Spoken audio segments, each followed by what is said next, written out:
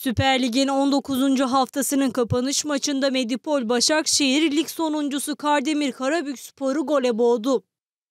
Turuncu lacivertli ekip İstanbul'da konuk ettiği rakibini ilk yarıda bulduğu gollerle 5-0 mağlup edip puanını 42'ye yükseltti ve liderliği Galatasaray'dan devraldı.